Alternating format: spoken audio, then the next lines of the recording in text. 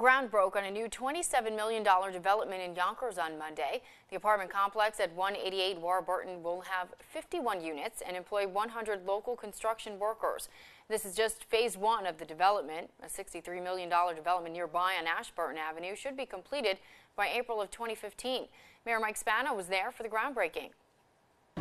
These things don't happen without the dollars that are made available by the federal and state government. And it's our area representatives, the people who represent us and fight for us each and every day.